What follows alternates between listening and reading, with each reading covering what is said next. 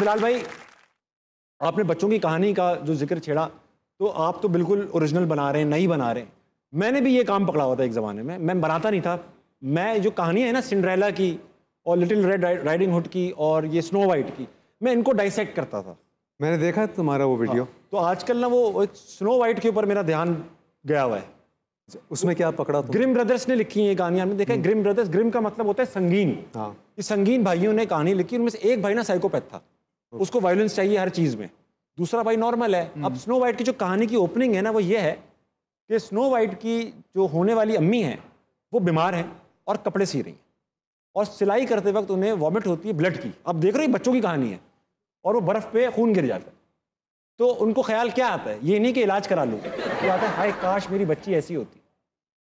बर्फ़ की तरह सफ़ेद हम्म। और खून की तरह लाल लाल उसके गाल। क्या बात है। और इस सोच से ही एक साल बाद बच्चा हो जाता है। स्नो वाइट हो जाती। है वेरी क्विक और वो मर जाती। है हर कहानी में बच्चों की माँ मर जाती। तुम्हें पता है ये जो वायलेंस है ये हमारे यहाँ भी जब मैं लिखना शुरू किए ऐसी राइम्स तो पुरानी चीज़ों पे रिसर्च की तो हमारी जो उर्दू की नज़में थी उसमें भी बहुत था बहुत, बहुत था। जैसे वो मछली का बच्चा पानी से निकला अम, अम्मी ने काटा अब्बा ने पकाया बड़ा मज़ा आया। बड़ा मज़ा आया। और फिर यह नानी तेरी मोरनी को मोर मोर ले गए बाकी जो था काले चोर ले गए। कि पता वो तनी किसी की लड़ाई हो गई और किसी हाँ। के चोंच टूट गई और वो, वो ये सब चीज़ें सौ रुपए का धागा हाँ। चोर निकल के भागा निकल अच्छा खाना खाएँगे सिपाही को बुलाएँगे। और बैंगन ने टांग मारी रो रहे थे गाजर ने प्यार किया बचपन से बच्चों को बैंगन से नफरत हो जाती है। मैंने कभी नहीं खाया बैंगन इस वजह से।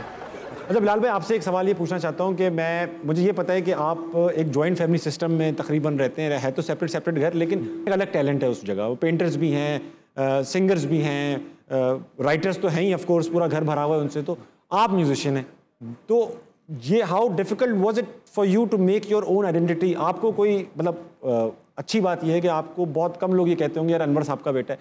कहते हैं, बिलाल मकसूद है। तो ये आइडेंटिटी बनाना कितना मुश्किल था?